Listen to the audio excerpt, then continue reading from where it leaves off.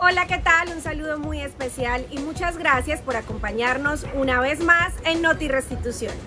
Estos son nuestros titulares y los hechos más importantes de la semana. Histórico, justicia profiere primera sentencia de restitución de tierras en Uribe Meta. Beneficiarios cundinamarqueses de restitución de tierras fortalecen habilidades comerciales. Dirección Territorial de Apartado articula acciones institucionales con la Universidad de Antioquia del Urabá antioqueño. Saludos desde Villavicencio. Una mujer y sus ocho hijos serán compensados con un nuevo predio a cambio del que debieron abandonar por cuenta de la violencia registrada en la inspección de la Julia en Uribe, tristemente recordado por haber sido un bastión de las FARC-EP. Según lo ordenó un juzgado especializado en restitución de tierras de Villavicencio.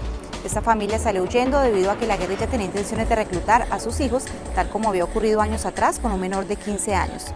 En cumplimiento de la sentencia, la unidad les comprará un nuevo terreno de similares características en un sitio que elijan y además tendrán derecho a la oferta institucional del Estado para su reparación integral. Un saludo desde Bogotá.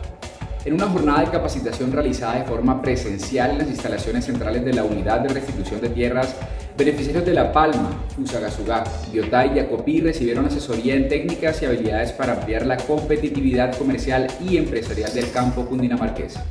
Productores de cacao, café, aguacate, huevos y ganadería tuvieron la oportunidad de formarse durante esta actividad, liderada por el equipo de proyectos productivos de la URT y en la que se socializó con los asistentes las ventajas de fortalecer el componente socioempresarial a través de estrategias como la asociatividad entre los campesinos de esta región del país.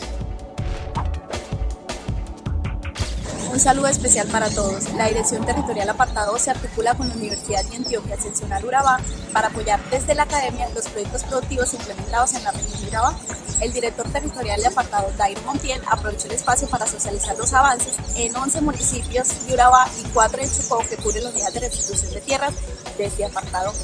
En Urabá se han implementado 248 proyectos productivos con una inversión superior a los 7 mil millones de pesos y con estas mesas de trabajo con la Universidad de Antioquia se buscaron esos puntos de encuentro para fortalecer la restitución de tierras y el emprendimiento.